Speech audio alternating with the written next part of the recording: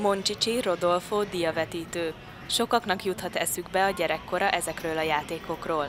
Egy időutazásban lehet részük azoknak, akik ellátogatnak a Tatabányai Vértes Centerbe. A szocializmust idéző magyar és külföldi játékokat Juhász Attila gyűjtötte össze. Vannak közöttük ritkaságok is, van, akinek, van, vannak olyan játékok is, ami gyakorlatilag minden háztatásban fellehető volt, mint például a lemezágyúgyának a motorosa, a kutyaház persej, vagy például a Tefu fa teherautó, ami gyakorlatilag ó, minden óvodában volt körülbelül négy-öt darab.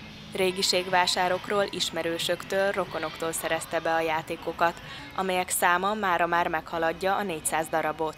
Szinte mindenki megállt a vitrineknél, és nosztalgiázva beszéltek arról, ki mivel játszott hajdanán. Pont azt beszéltük, hogy arra emlékszem, hát nagyon jó szerintem milyen régi dolgokat látni egy kicsit a gyerekkorba visszamegyünk. Van, aki úgy gondolja, ezek a játékok sokkal jobbak voltak, mint amiket ma lehet kapni. Volt olyan is, aki azt mondta, szívesebben vesz a gyerekeinek régebbi játékokat.